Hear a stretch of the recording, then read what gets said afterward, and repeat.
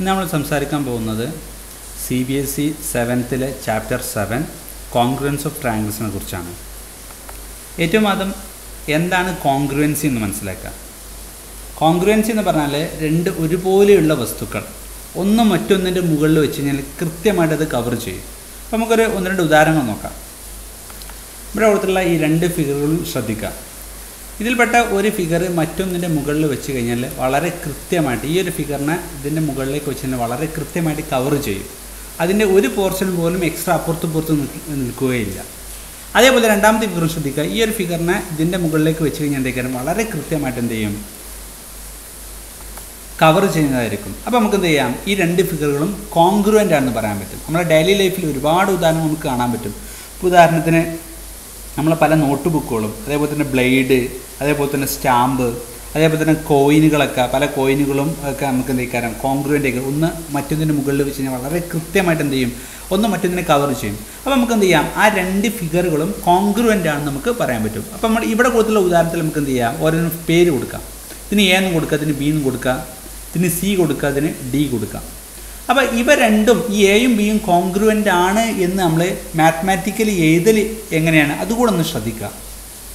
അപ്പം എയും ബി ആണ് ഇവിടെ കോൺഗ്രുവന്റ് ആയിട്ട് വന്നിട്ടുള്ളത്. അപ്പോൾ ഇവ രണ്ടും കോൺഗ്രുവന്റ് ആണെന്ന് നമ്മൾ സാധാരണ എഴുതൽ ആദ്യം ഒരു ഈക്വൽ ടു സൈൻ എടുക്കും. അതിന് ശേഷം മുകളിലൊരു എസ് ചിഹ്നം ഇട്ട് കൊടുക്കുന്നു. ഓക്കെ വളഞ്ഞ വളഞ്ഞ രൂപത്തിൽ. ഇത് നമുക്ക് സിയും ഡിയും ഇവിടെ കോൺഗ്രുവന്റ് ആണല്ലോ. നമുക്ക് എന്ത് ചെയ്യാം? അത് ഇവിടെ എഴുതാം. സിയും ഡിയും കോൺഗ്രുവന്റ് ആണ്. അതൊരു ഈക്വൽ ടു സൈന് ഇതിന്റെ മുകളിൽ ഇതേപോലെ ഇട്ട് കൊടുക്കുന്നു. ഓക്കെ കോൺഗ്രുവന്റ് ആണ്. അപ്പോൾ സി കോൺഗ്രുവന്റ് ടു ഡി എന്നാണ് അതുകൊണ്ട് ഉദ്ദേശിക്കുന്നത്. അപ്പോൾ കോൺഗ്രുവന്റ് ആണ് എന്ന് എങ്ങനെ എഴുതുന്നതും അതുകൂടെ മനസ്സിലാക്കി വെക്കുക. നമ്മൾ ഒരുപാട് ഡെയിലി ലൈഫിൽ നമുക്ക് ഒരുപാട് കോൺഗ്രുവന്റ് ഉള്ള ഒബ്ജക്റ്റുകൾ കാണാൻ പറ്റും. നമ്മൾ ഈ ഒരു പാഠം എക്സ്ക്ലൂസീവ്ലി ട്രയാങ്കിൾസിന്റെ കോൺഗ്രുവൻസിയെ കുറിച്ചാണ്. ഓക്കെ അതിലേക്ക് എത്തുന്നതിന് മുമ്പ് ആദ്യം ഓരോരോ കാര്യങ്ങൾ പറഞ്ഞ് പറഞ്ഞ് നമുക്ക് മുന്നോട്ട് പോകാം ഓക്കെ അപ്പം ഫിഗറുകൾ എങ്ങനെയാണ് കോൺഗ്രുവന്റ് ആവുക? എന്താണ് കോൺഗ്രുവൻസി അതേപോലെ കോൺഗ്രുവന്റ് ആയി കഴിഞ്ഞാൽ അത് എങ്ങനെയാണ് എഴുതുക എന്നുള്ളത് മനസ്സിലായി വിചാരിക്കുകയാണ് ഇനി നമുക്ക് എന്ത് ചെയ്യാം? ലൈൻ സിഗ്മെന്റുകൾ ലൈൻ സിഗ്മെന്റുകൾ കോൺഗ്രുവന്റ് ആകുന്നത് എങ്ങനെയാണെന്ന് നോക്കാം. ഇവിടെ രണ്ട് ലൈൻ സീക്വൻസ് കൊടുത്തിട്ടുണ്ട്. അപ്പം ഒന്ന് മറ്റൊന്നിന്റെ കോൺഗ്രുവന്റ് ആണോ എന്ന് നമ്മളോട് ചോദിച്ചിട്ടുള്ളത്. അപ്പം നമ്മൾ നേരത്തെ തന്നെ പറഞ്ഞത് കോൺഗ്രുവന്റ് ആകണം എന്നുണ്ടെങ്കിൽ ഒന്ന് മറ്റൊന്നിന്റെ മുകളിൽ വെക്കുന്ന സമയത്ത് വളരെ കൃത്യമായിട്ട് അത് കവർ ചെയ്യണം. അപ്പം നമുക്ക് എന്ത് ചെയ്യാം? ഇവിടെയുള്ള സി ഡി എന്നുള്ള ഈ ഒരു ലൈനിനെ എ സി എന്നതിന്റെ മുകളിലേക്ക് തന്നെ വെച്ച് നോക്കാം വെച്ച് നോക്കിയ സമയത്ത് ഇത് കൃത്യമായിട്ട് കവർ ചെയ്യുന്നുണ്ടോ? ഇല്ല കവർ ചെയ്യുന്നു കാരണം ഒരുപാട് പോർഷന് അപ്പുറത്തും ഇപ്പുറത്തും ബാക്കി വരുന്നുണ്ട്. അപ്പോൾ നമുക്ക് എന്ത് ചെയ്യാം എ ബിയും സി ഡിയും കോൺഗ്രുവന്റ് അല്ല നമുക്ക് മനസ്സിലാക്കാൻ പറ്റും. നമുക്ക് അടുത്തൊരു ഉദാഹരണം നോക്കാം. ഇവിടെ നമ്മൾ രണ്ട് ലൈൻ സിഗ്മെന്റുകൾ കൊടുത്തിട്ടുണ്ട്. ഒന്ന് എം കെ എന്നുള്ളതും ഒന്ന് സി പി എന്നുള്ളതും. അപ്പോൾ ഇവ രണ്ടും കോൺഗ്രുവന്റ് ആണോ എന്ന് നമുക്ക് ചെക്ക് ചെയ്ത് നോക്കാം. കോൺഗ്രുവന്റ് ആകണം എന്നുണ്ടെങ്കിൽ രണ്ടും ഒന്ന് മറ്റൊന്നിന്റെ മുകളിലേക്ക് വെച്ച് കൃത്യമായിട്ട് കവറപ്പ് ചെയ്യണം. അപ്പോൾ കവർ ചെയ്യേണ്ടതെന്ന് നോക്കാം. ഓക്കെ നമ്മൾ ചെക്ക് ചെയ്ത സമയത്ത് ക്ലിയർ ആയിട്ട് സി പി എന്നുള്ള ലൈന് എം കെ എന്നുള്ള ലൈനിന്റെ മുകളിൽ കൃത്യമായിട്ട് കവർ ചെയ്യുന്നുണ്ട്. അപ്പോൾ നമുക്ക് എന്ത് ചെയ്യാം? പറയാൻ പറ്റും. അതായത് എം കെ എന്നുള്ള ലൈൻ സിഗ്മെന്റ് ലൈൻ സിഗ്മെന്റ് എന്നുള്ള മുകളിൽ എന്ത് ചെയ്യും? ലൈൻ വെച്ച് കൊടുത്താൽ മതി. സി പി എന്നുള്ള ലൈൻ സിഗ്മെന്റിനോട് കോൺഗ്രുവന്റ് ആണ്. കോൺഗ്രുവന്റ് എന്നുള്ളത് നമുക്ക് ഈ ഒരു സിമ്പിൾ ഉപയോഗിച്ചാൽ മതി. ഓക്കെ അപ്പോൾ ഇതിൽ നിന്ന് നമുക്കൊരു കാര്യം മനസ്സിലായി. രണ്ട് ലൈൻ സിഗ്മെന്റുകൾ കോൺഗ്രുവന്റ് ആകണമെന്നുണ്ടെങ്കിൽ അവ രണ്ടിന്റെയും ലെങ്ത് സെയിം ആയിരിക്കും. ഇവിടെ നമുക്ക് ശ്രദ്ധിച്ചാൽ മനസ്സിലാക്കാൻ പറ്റും എം കെ എന്നുള്ള എം കെ എന്നുള്ള ഈ ലൈനും അതേപോലെ തന്നെ സി പി എന്നുള്ള ലൈനും ലെങ്ത്തിൽ രണ്ടും ഈക്വൽ ആണ്. ലെങ്ത്തിൽ ഈക്വൽ അല്ലെങ്കിൽ അവ രണ്ടും കോൺഗ്രന്റ് ആവുകയില്ല. കാരണം അത് തന്നെയാണ് എന്ത്? ഇവിടെയും സംഭവിച്ചില്ല എ ബി എന്നുള്ള ലൈൻ സിഗ്മെന്റും അതേപോലെ സി ഡി എന്ന ലൈൻ സിഗ്മെന്റും രണ്ടും കോൺഗ്രന്റ് ആണെന്ന് നമ്മൾ ചോദിച്ചിട്ടുള്ളത് രണ്ടും കോൺഗ്രന്റ് അല്ല. കാരണം എന്താണ്? കവർ ചെയ്യുന്നില്ല എന്നുള്ള നമ്മൾ ഒരു കാരണം പറഞ്ഞതാണ്. പക്ഷേ അതിനുള്ള പ്രധാനപ്പെട്ട കാരണം എന്താണ്? എ ബിയും സി ഡിയും ലെങ്ത്തിൽ ഈക്വൽ അല്ല എന്നുള്ളതാണ്. ഓക്കെ അപ്പോൾ രണ്ട് ലൈൻ സിഗ്മെന്റുകൾ എപ്പോഴാണ് കോൺഗ്രുവന്റ് ആകുക എന്നുള്ളത് മനസ്സിലായി? അതായത് അവ രണ്ടും ലെങ്ത്തിൽ ഈക്വൽ ആകുന്ന സമയത്താണ് കോൺഗ്രുവന്റ് ആവുക. ഓക്കെ ഇനി നമുക്ക് എന്ത് ചെയ്യാം? രണ്ട് ആംഗിൾസ് കോൺഗ്രുവന്റ് ആകുന്നത് എപ്പോഴാണെന്ന് നോക്കാം. ഇവിടെയുള്ള ഈ ഫിഗറുകൾ ശ്രദ്ധിക്കുക ഇവിടെ രണ്ട് ട്രയാങ്കിൾസ് വീതം കൊടുത്തിട്ടുണ്ട്. A B A B C എന്നുള്ള സോറി എ ബി സി എന്നുള്ള ആംഗിളും ഡി ഇ വി എഫ് എന്നുള്ള ആംഗിളും അപ്പോൾ നമ്മളോട് പറഞ്ഞിട്ടുള്ളത് ആംഗിൾസ് ഇവ രണ്ടും ഈ എ ബി സി എന്നുള്ള ആംഗിളും ഡി ഇ എഫ് എന്നുള്ള ആംഗിളും കോൺഗ്രുവന്റ് ആണോ എന്നുള്ളതാണ്. അപ്പോൾ നമ്മൾ കോൺഗ്രുവന്റ് ആണെന്നുള്ളത് മുമ്പ് പറഞ്ഞിട്ടുണ്ട് ഒന്ന് മറ്റൊന്നിന്റെ മുകളിൽ വെക്കുന്ന സമയത്ത് കൃത്യമായിട്ട് കവറപ്പ് ചെയ്യണം എന്നുള്ളത്. അപ്പോൾ നമുക്ക് എന്ത് ചെയ്യാം? അത് കവർ ചെയ്യുന്നുണ്ടോ നമുക്ക് ഇവിടെ നിന്ന് ചെക്ക് ചെയ്ത് നോക്കാം. ഇത് ഇതിന്റെ മുകളിലേക്ക് ഒന്ന് വെച്ച് നോക്കുകയാണ്. വെച്ച് നോക്കുന്ന സമയത്ത് മനസ്സിലാക്കാൻ പറ്റും ഒന്ന് മറ്റൊന്നിനെ കവർ കൃത്യമായിട്ട് കവർ ചെയ്യുന്നില്ല. അപ്പോൾ നമുക്കെന്ത് പറയാം? എ ബി സി എന്നുള്ള ആംഗിളും അതേപോലെ തന്നെ ഇ ഡി ഇ എഫ് എന്നുള്ള ആംഗിളും പരസ്പരം കോൺഗ്രുവന്റ് അല്ല എന്ന് മനസ്സിലായി. ഇനി നമുക്ക് എന്ത് ചെയ്യാം? അടുത്ത ആംഗിൾസിൽ കിടക്കാം. ജി എച്ച് ഐ എന്നുള്ള ആംഗിളും ജെ കെ എൽ എന്നുള്ള ആംഗിളും ഇവ രണ്ടും കോൺഗ്രുവന്റ് ആണെന്ന് നോക്കാം. ഓക്കെ അപ്പോൾ ഒന്ന് മറ്റൊന്നിന് മുകളിൽ വെച്ച് നോക്കിയാൽ മതി. കോൺഗ്രുവന്റ് ആണെന്ന് മനസ്സിലാക്കണമെന്നുണ്ടെങ്കിൽ നോക്കുന്ന സമയത്ത് ഒന്ന് മറ്റൊന്നിന് വളരെ കൃത്യമായിട്ട് തന്നെ എന്ത് ചെയ്യുന്നുണ്ട്? കവർ ചെയ്യുന്നുണ്ട്. അപ്പോൾ ഫൈനലി നമുക്ക് പറയാം. Angle G H I G H I എന്നുള്ള ആംഗിളും അതേപോലെ തന്നെ angle J J K L എന്നുള്ള ആംഗിളും പരസ്പരം കോൺഗ്രുവന്റ് ആണ്. ഓക്കെ അപ്പോൾ ഈ നമ്മളിവിടെ ശ്രദ്ധിച്ചാൽ മനസ്സിലാക്കാൻ പറ്റും രണ്ട് ആംഗിൾസ് കോൺഗ്രുവന്റ് ആകുന്നതിന്റെ മാനദണ്ഡം എന്ന് പറഞ്ഞാൽ ആ രണ്ട് ആംഗിൾസിന്റെയും ഡിഗ്രി അതായത് മെഷർ സെയിം ആയിരിക്കണം. അപ്പോൾ നമുക്ക് എന്ത് ചെയ്യാം? ഇവിടെ ജി എച്ച് ഐ അതേപോലെ തന്നെ ജെ കെ എൽ ഈ എന്നീ രണ്ട് ആംഗിൾസിന്റെ ആംഗിളുകൾ ആംഗിളിന്റെ മെഷർമെന്റ് രണ്ടും സെയിം ആണ്. നമുക്ക് ഒന്ന് ചെക്ക് ചെയ്ത് നോക്കാം. പ്രൊട്ടാക്ടർ ഉപയോഗിച്ച് നമുക്കൊന്ന് ചെക്ക് ചെയ്ത് നോക്കാം.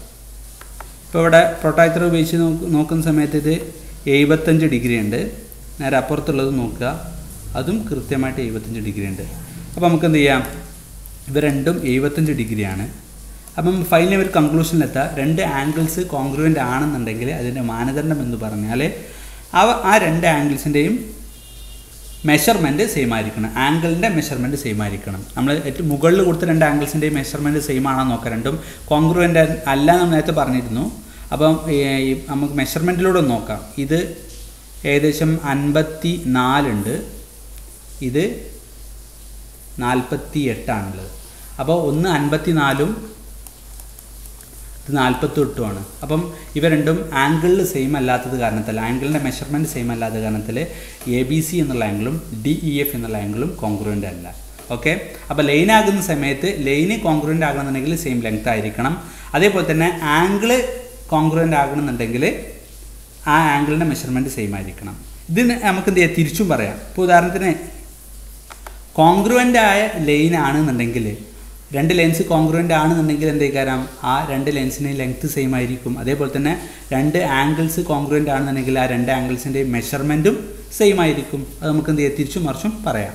ഓക്കെ അപ്പോൾ ഇതുവരെ പറഞ്ഞ കാര്യങ്ങളൊക്കെ മനസ്സിലായി വിചാരിക്കുകയാണ്. ഇനി നമുക്ക് എന്ത് ചെയ്യണം?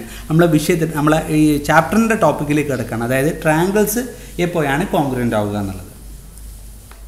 ഇവിടെ നമ്മൾ രണ്ട് ട്രാങ്കിൾസ് കൊടുത്തിട്ടുണ്ട്. അപ്പോൾ ഈ രണ്ട് ട്രാങ്കിൾസും കോൺഗ്രുവന്റ് ആണെന്ന് നമുക്ക് ചെക്ക് ചെയ്യാം. ചെക്ക് ചെയ്യണമെന്നുണ്ടെങ്കിൽ നമ്മൾ നേരത്തെ പറഞ്ഞ പറഞ്ഞിട്ടുണ്ട്. ഒന്ന് മറ്റൊന്നിന് മുകളിൽ നേരെ വെച്ച് ചെയ്ത് വെച്ച് കൊടുത്താൽ മതി. രണ്ട് കവർ ചെയ്യുന്നുണ്ടെങ്കിൽ നമുക്ക് എന്ത് ചെയ്യാം? അവ രണ്ട് കോൺക്രീറ്റ് ആണെന്ന് മനസ്സിലാക്കാൻ പറ്റും. ഇപ്പോൾ നോക്കിക്കഴിഞ്ഞാൽ മനസ്സിലാക്കാൻ പറ്റും എ ബി സി എന്നുള്ള ട്രാങ്കിളും അതേപോലെ തന്നെ പി ക്യു ആർ എന്നുള്ള ട്രാങ്കിളും കൃത്യമായിട്ട് ഒന്ന് മറ്റൊന്നിനെ കവർ ചെയ്യുന്നുണ്ട്.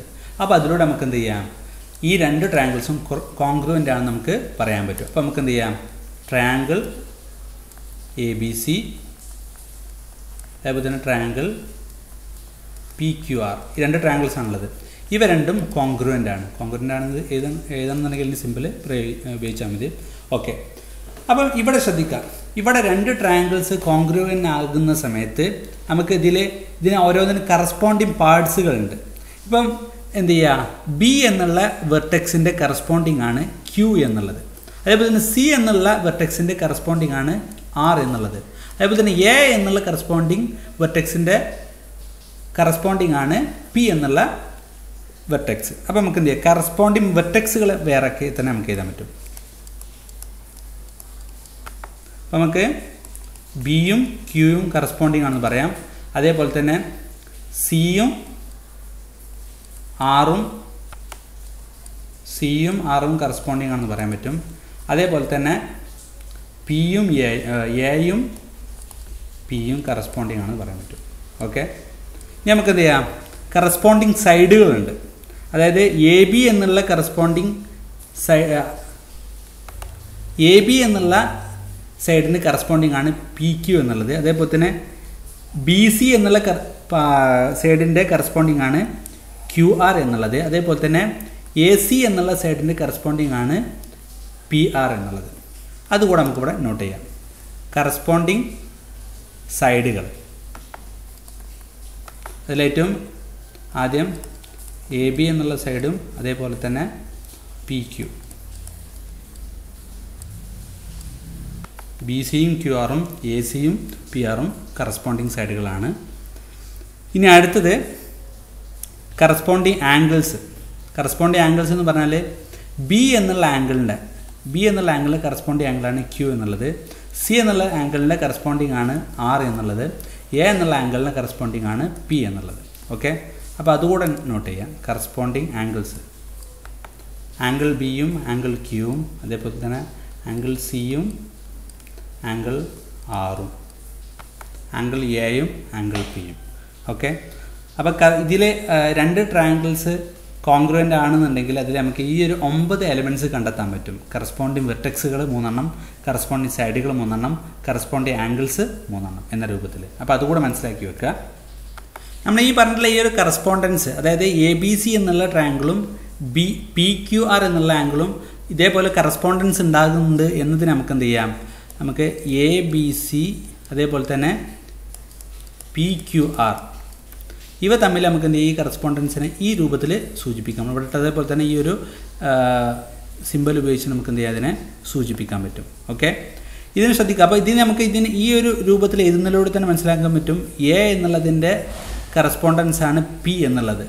ഇവിടെ അവിടെ നമ്മൾ കൊടുത്തിട്ടുണ്ട്. അതേപോലെ തന്നെ ബി എന്നുള്ളതിന്റെ കറസ്പോണ്ടിങ് വരുന്നതാണ് ക്യു എന്നുള്ളത്. അതേപോലെ തന്നെ സി എന്നുള്ളതിന് കറസ്പോണ്ടിങ് ആയിട്ട് വരുന്നതാണ് ആർ എന്നുള്ളത്. ഓക്കെ അപ്പോൾ ഈ എഴുതിയത് നമുക്ക് എന്ത് ചെയ്യാം?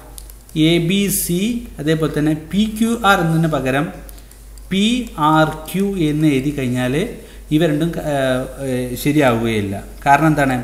ആ കറസ്പോണ്ടൻസ് ഇതിൽ കൃത്യമായിട്ട് വരില്ല. നമ്മൾ നേരത്തെ തന്നെ പറഞ്ഞ പറഞ്ഞിട്ടുണ്ട്. ഇവിടുത്തെ ഒന്നാമത്തും ഇവിടുത്തെ ഒന്നാമത്തും കറസ്പോണ്ടിങ് ആയി വരണം. ഇവിടുത്തെ രണ്ടാമത്തും ഇവിടുത്തെ രണ്ടാമത്തും കറസ്പോണ്ടിങ് ആണ്. ഇവിടുത്തെ മൂന്നും ഇവിടുത്തെ മൂന്നും കറസ്പോണ്ടിങ് ആണ്. അപ്പോൾ ഇങ്ങനെ എഴുതുന്ന സമയത്ത് അത് ശരിയായി വരികയില്ല. അപ്പോൾ എന്ത് ചെയ്യണം? ആ ഒരു പാറ്റേൺ തന്നെ വളരെ കൃത്യമായിട്ട് നമ്മൾ റെഡിയാക്കിയതിന് ശേഷം മാത്രമേ നമുക്ക് എഴുതാൻ പറ്റുള്ളൂ. അപ്പോൾ നമുക്ക് എന്ത് ചെയ്യാം? ഈ ഒരു സിമ്പൽ ഉപയോഗിച്ചിട്ട് നമുക്ക് എന്ത് ചെയ്യാം? ആ കറസ്പോണ്ടൻസ് നമുക്ക് സൂചിപ്പിക്കാൻ പറ്റും. ഓക്കെ അപ്പോൾ ഇതുവരെ പറഞ്ഞുള്ള കാര്യങ്ങളൊക്കെ വളരെ വ്യക്തമായി എന്ന് വിചാരിക്കുകയാണ്. ഇനി നമുക്ക് അടുത്ത സെഷനിൽ രണ്ട് ട്രയാങ്കിൾസ് കോൺഗ്രുവൻ ആകുന്നതിന്റെ മാനദണ്ഡങ്ങൾ ക്രൈറ്റീരിയാസിനെ കുറിച്ച് സംസാരിക്കാം. ഓക്കെ